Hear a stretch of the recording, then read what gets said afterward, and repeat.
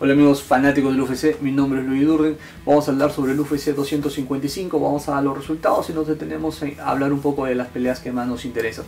Todo comenzó con Sasha Palamnikov que vence por nocaut técnico a Louis Coxe en el tercer round.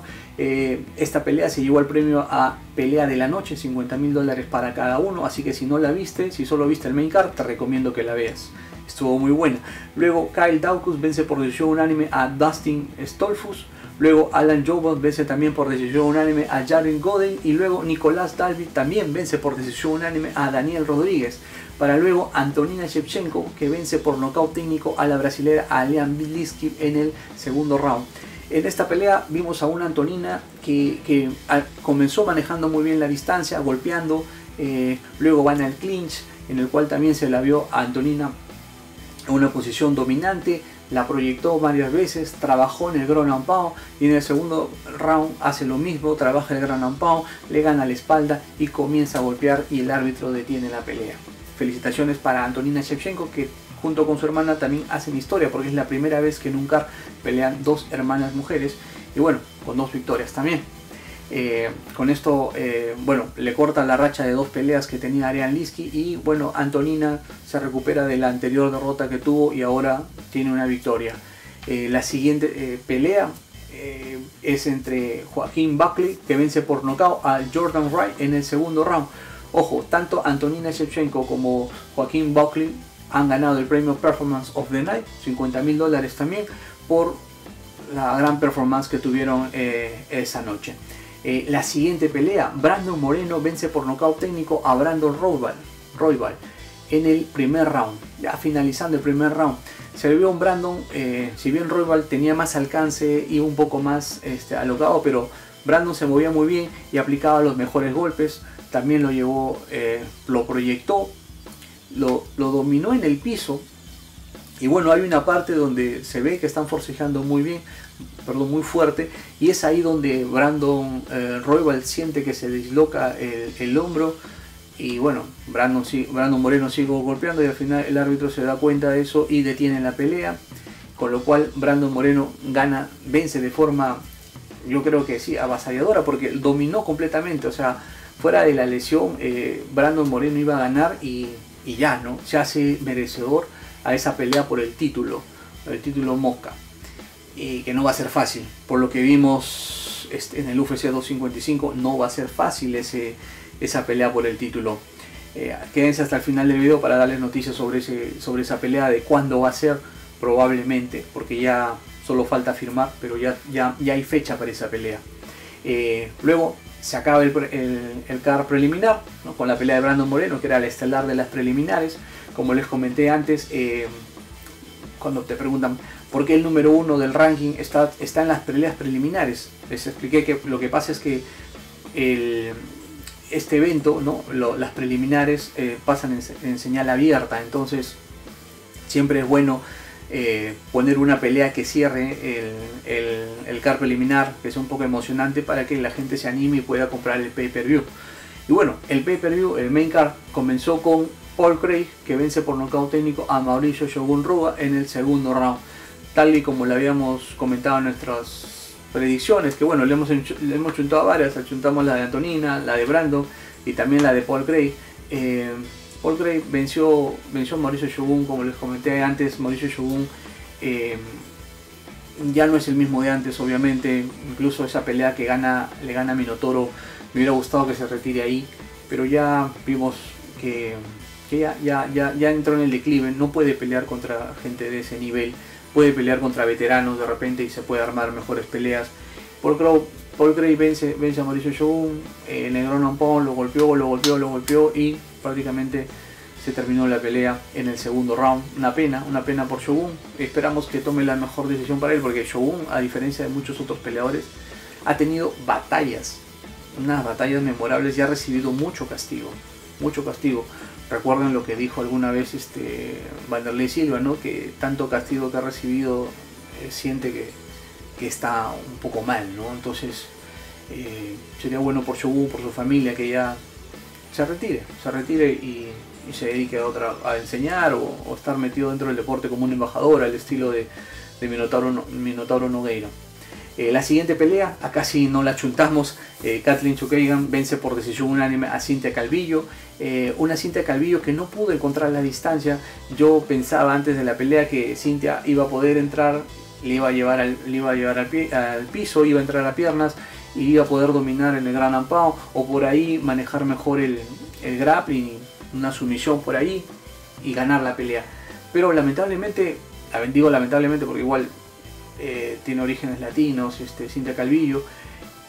Me hubiera gustado que ella gane, pero no. Eh, Kathleen manejó muy bien la distancia, la tuvo lejos y cuando y al tenerla tan lejos, eh, Cintia no podía hacerle entrada y cuando entraba, Kathleen podía defender porque la distancia la favorecía, ¿no? Una pelea en la cual Kathleen vence por decisión y bueno, se consolida en, el número 2 del, ranking de, peso mosca. No creo que pelee pronto por el, por el título contra Valentina porque acaba de perder hace poco. ¿no? Eh, pero la que está ahí cerca es Jessica Andrade. Vamos a ver qué sucede con ella. Eh, la siguiente pelea, acá, también la chuntamos en el resultado. Les dije ¿no? que Tim Means no era el favorito, pero yo, yo tenía la intuición de que él iba a ganar. Tim Means vence por decisión unánime a Mike Perry. Un Mike Perry que que como siempre decimos, ¿por qué Mike Perry que no está rankeado está en el main card? Porque Mike Perry sale a dar espectáculo, es alguien que va, busca el golpe, eh, le gusta intercambiar y bueno, se dio una gran pelea, mírenla si, este, si no la han visto, si solo han visto las estelares, eh, perdón, el evento estelar principal y co-principal o coestelar, eh, miren esta pelea, estuvo muy buena, una pelea muy buena y bueno, Tim vence a Mike Perry, ahí una pelea más que acertamos. Pero bueno, eso es, suerte en realidad porque a veces tú puedes decir y al final pelea es pelea, un descuido y puede pasar cualquier cosa. Y vamos a la coestelar. Valentina Shevchenko vence por decisión unánime a Jennifer Maya. Una, una pelea que en el papel parecía muy fácil para, Valentina, pero Jennifer Maya parece que le hizo, hizo resultaron los consejos que le dio Amanda Nunes y, y supo manejar un poco con su fuerza, manejó ahí en el clinch, cuando Valentina la llevaba al piso, la amarraba, no la dejaba trabajar mucho. Y bueno, pelear con un cinturón, un cinturón negro, eh, tener un cinturón negro en el piso también no es tan fácil, ¿no? No puedes golpear muy bien porque por ahí de repente, ¡pum!, te clavan una palanca, un estrangulamiento o una sumisión y es algo que, que Valentina no quería. El, primer round Valentina la manejó muy bien, ¿no? manejó muy bien la distancia en el golpeo, eh, pero en el segundo round eh, las cosas se invierten, porque el primer round incluso Valentina la lleva al piso, la, domina un poco en el gran ampao, pero en el segundo round Jennifer Maya la lleva contra la, reja y ella es la que la derriba y Valentina quedó eh, con la espalda en la lona durante todo el round y es el round que gana Jennifer Maya. En el tercer round Valentina ya se recupera, maneja mejor la distancia, conecta los mejores golpes en la distancia y algo que me sorprendió de Valentina es que la llevó, la proyectó varias veces al piso a Jennifer Maya. Es algo que yo no esperaba en verdad, yo esperaba que siga peleando en el, striking, que sí lo hizo, pero me sorprendió esas llevadas al piso porque como siempre digo, llevar, o sea, tú puedes llevar al piso a un, a, ¿no? Lo, puedes este, proyectar, pero estar en el piso con ellos es, complicado, ¿no? es muy riesgoso. Y bueno, Valentina hizo eso con Jennifer Maya y gana por decisión eh, unánime y se consolida como campeona, hace su cuarta defensa. Y ahora, ¿quién será la siguiente rival de, Valentina? Se dice que puede ser Jessica Andrade. Jessica Andrade eh, podría ser la siguiente rival de, de Valentina y va a ser una pelea interesante porque eh, Jessica es alguien que va frontal, es alguien muy fuerte. Sería una pelea interesante para, para Valentina, que como digo, como les repito, hizo historia con su hermana, al ser las primeras este, hermanas que pelean en el UFC, y bueno, con victoria, ¿no? Ambas con victoria. Y la pelea de fondo, la pelea de fondo vimos al campeón Davison Figueredo vencer por sumisión a Alex Pérez. Eh, lo vi demasiado fuerte, parece que no que parece, es un hecho. Davison Figueiredo eh, se ha consolidado muy bien en, esa categoría, ya maneja mejor su peso, porque ojo, recuerde que la primera vez que pelea por el vacante, eh, él no da el peso y en consecuencia no puede ser el campeón.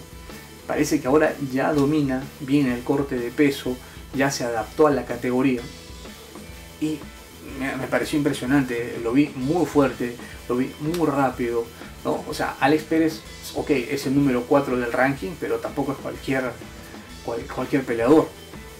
Me sorprendió que le haya ganado tan rápido. Bueno, un error también de, Alex Pérez, ¿no? Que parece que eh, le regala el cuello, que, mm, de hecho que una cosa es decirlo desde fuera y otra cosa es ahí, ¿no? En la jaula. Pero sí, inmediatamente muy hábil eh, Davison Figueredo cuando siente que, la cabeza de, Alex Pérez entra a su, debajo del brazo, apretó, apretó tan fuerte que inclusive Alex Pérez intenta levantarse y es tanta la fuerza que, ocasiona Davison que termina tapeando. Con lo cual sigue siendo campeón, ¿no? Hace su primera defensa con éxito y quiere pelear con Brando. Le dijo, Dana, dame esa pelea ya. Y como Davison Figueiredo ha ganado en el primer round, Brandon también, van a pelear. Se dice que es en diciembre. Probablemente en el UFC 256. Así que vamos a ver. Esta pelea aparentemente está cerrada de boca, faltan las firmas. Eh, estamos 21 de noviembre, el evento es el 12 de diciembre, faltan creo que tres semanas.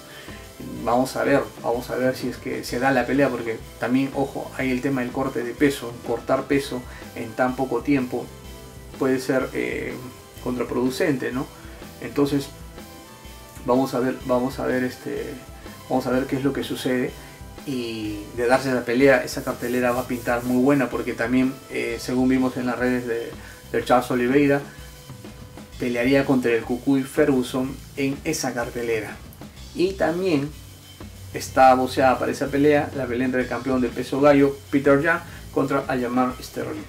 Entonces, esa cartelera se va armando bien para el eh, UFC 256, creo que es el 12 de diciembre. Y bueno, eso fue los resultados, eso fue lo que pasó en el UFC 255. Ah, algo más, me olvidaba. Eh, hubo un ingreso al Salón de la Fama, clase 2000, de alguien que, bueno, no muchos, es más, yo no, conocía hasta hoy día, que es Mark Raffner.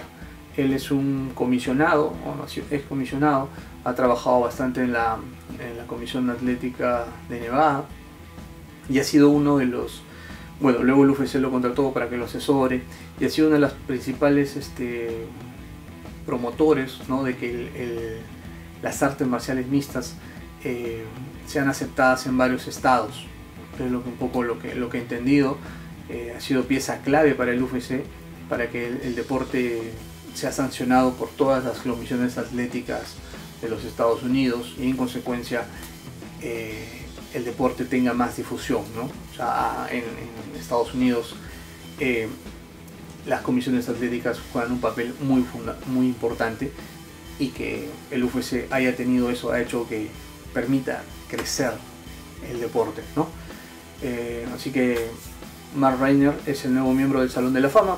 Y bueno muchachos, eso fue todo, eso fue mi repaso rápido sobre los resultados del UFC 255. Espero sus comentarios, qué opiniones tienen de la pelea y cuál creen que sería su pelea favorita para el siguiente evento. Ojo que en enero regresa McGregor, la revancha contra Dustin Poirier. Bueno, revancha de Dustin Poirier, vamos a ver si se da. Se vienen peleas muy buenas. Y, y nada, gente, nos estamos viendo.